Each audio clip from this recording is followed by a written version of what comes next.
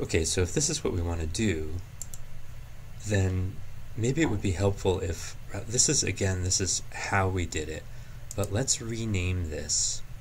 And so I'm going to rename this by going into the table of contents, right-clicking on this, going to properties, going over to general, and now, because this isn't actually the file name, this is just kind of a label that I'm going to give it in, uh, in the layers um, panel, I'm going to call this um, it's still the third thing that we did, um, but now I can begin with a number, and this is basically the parking in each zone,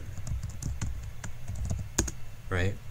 And I want to calculate the area of the parking in each zone.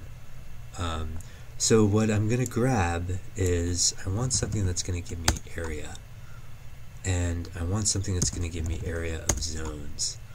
And do I get zonal geometry as table? That sounds promising. So let's try that. It's in Spatial Analyst. I'm going to start with this guy.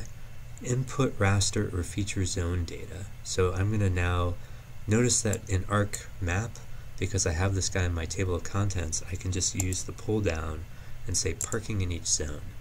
And the zone field is going to be, well, what are my choices here? I think value is pretty good, given the alternatives. And then what's my output table going to be? Well, I'd like this thing to be in there, but this is going to be, well, it's the fourth thing. And again, like I'm going to um, just go Othello for um, underscore area parking as a table. And the pro cell processing size I can't really change because that's the, um, the pixel size. And so if I say OK, what do I have here? Um, down at the bottom, I have some kind of a table, and if I double click on it, that doesn't get me anything, but if I right click on it and say open, there it is. And so what is this telling me here? Um, whoa, it's giving me all sorts of business here. That seems pretty distracting. I really just care about the area, so let's just focus on the area. But notice how it gives me um, a lot of different uh, metrics. Um, and uh, which is fine. But again, let's just keep it simple. And so there's my table. Let's not worry about the object ID. But what this is saying is that the value that has zero has a heck of a lot of area. Does that make sense? It's basically telling you that the area of everything that's not parking is this many square meters, right? And so now, what was this guy? It was parking lot 4, right? Or zone 4 the parking in zone 4. So the parking in zone 4 is this guy, right? Don't don't get suck, suckered into that. The object ID is we don't care about. The value ID, that right there, that's the value ID. So that's parking lot, the parking zone 4, parking zone 4 has 900 square meters of parking. It's one pixel. Does it make sense that that's 900 square meters? Because what's the pixel resolution? Right? So 30 times 30, perfect. So what's interesting is like, look at this guy. These are two separate pixels, right? And they're zone 10. They're both considered parking in zone 10. And notice we're only going to get one number, 1800 square meters of parking in zone 10, right? So even though these guys are separate, it's going to be the same deal here. These are two separate, like we can see these guys as like two separate areas, but the computer is considering them basically all one zone, if that makes sense.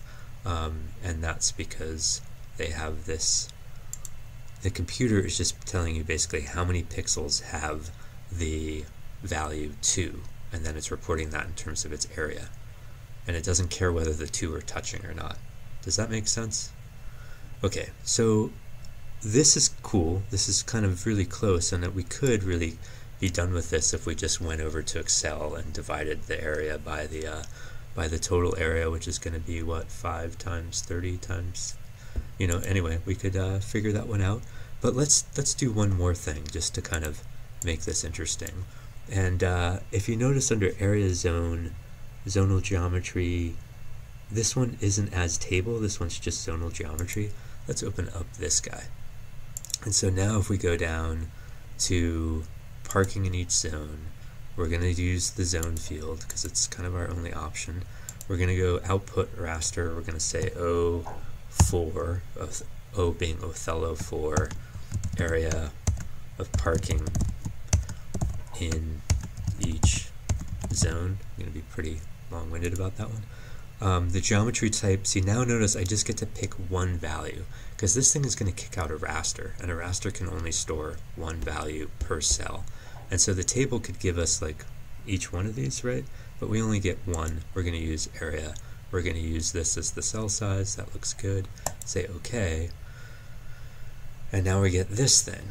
Now does this make sense? What we have here is what happened to our zeros? Well, they're still there, right? If I click anywhere where there used to be a zero, we're now getting this high value, which was, I believe, the same value that we got in our table. Um, when we looked at that, remember you have to right click and say open, right? And so that's the same value.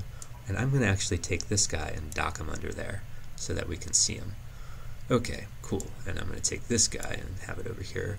So now remember this guy? What was that? Wasn't that guy 4? Um, it's 900, which is that. So do you see what happened? Now, do you remember what this guy was? 5400 in zone 2. And notice every time I click, it's 5400. So do you see what happened? Is that this raster is now storing the area for the entire zone in each pixel location. Whew. Is that pretty wild? Is that is that enough